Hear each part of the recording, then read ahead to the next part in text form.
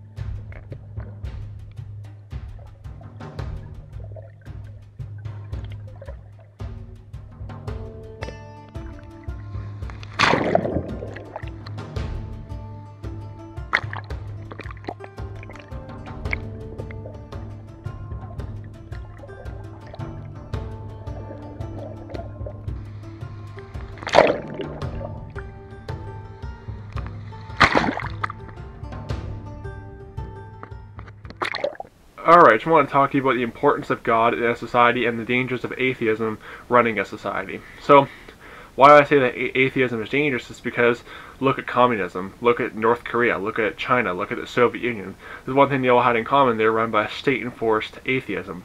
And with atheism, they have no moral absolutes. There is no moral absolutes. It's just do what thou should be the whole of the law. And that's why Joseph Stalin Mao Zedong, they were all uh, militant atheists, and look what they did. They, they murdered millions of people, and they banned religion, they banned freedom of speech, and this is all because they got rid of God out of society, and because he put state-enforced atheism in society. This is the danger that state-enforced atheism poses to a society. The importance of God is that there are moral absolutes, there are moral standards that we follow by. You know, thou shalt not kill, thou shalt not steal, thou shalt not commit adultery, all that stuff.